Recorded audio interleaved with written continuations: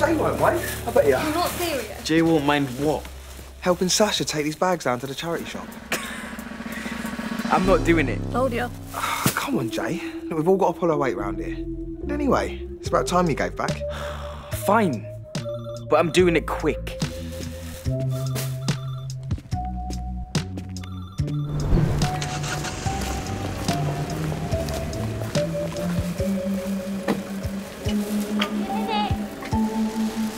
Still can't believe you're volunteering in a dump like this.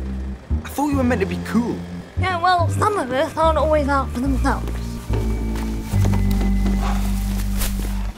Got a bunch of junk for you to palm off on some poor sucker.